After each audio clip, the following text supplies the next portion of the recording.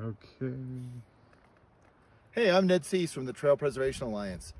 As we get into riding season and you start going up trails, we're going to run into snowbanks and down trees like this one. Sometimes it's tempting to try to go around or to try to skirt like someone's done here, but that's not the right answer. Bring a saw, bring a shovel, cut the thing out, stay on the trail. Doesn't take a chainsaw to cut trees. Silky saws are a great way. They're light, easy to carry in your pack,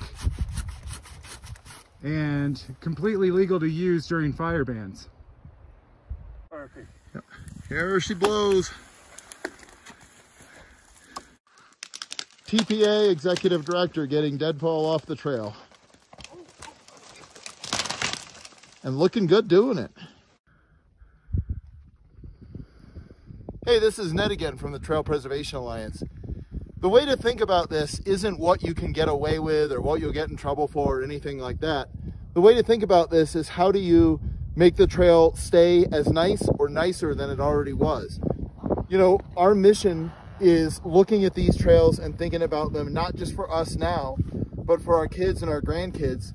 Because if we think the 2020s are good motorcycles, the 2050s are going to be even better.